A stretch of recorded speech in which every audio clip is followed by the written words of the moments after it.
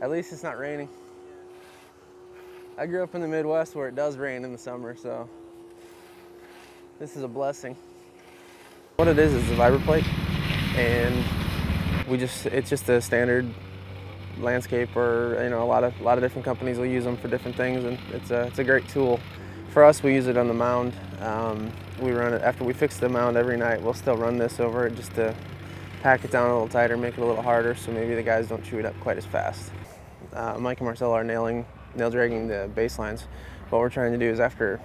every few games we'll go through and nail them up like this to uh, just kind of remix the, the infield clay and then we will try to basically re-drag them and roll them, make them flat again so they play a little nicer and uh, the footprints get all erased basically and, and uh, taken out. They got to be cleaned, but this is what actually puts the pattern down. So all they do is just, as it mows, it rolls the grass down and the light stripe is pointed away from you and the dark stripes pointed towards you.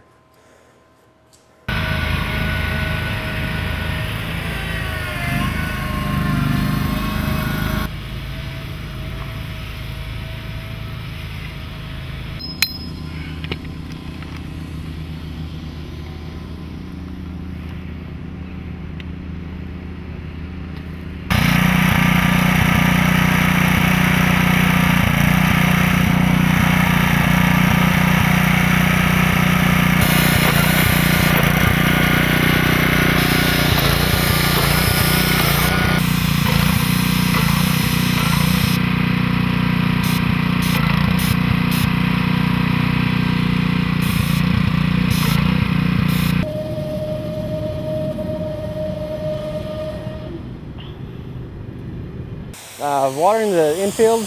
probably the most important job we have here,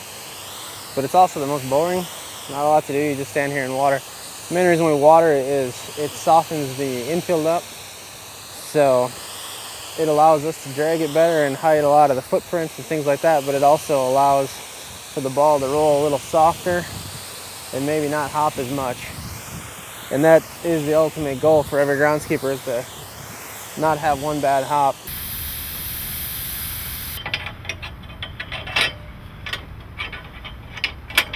Please,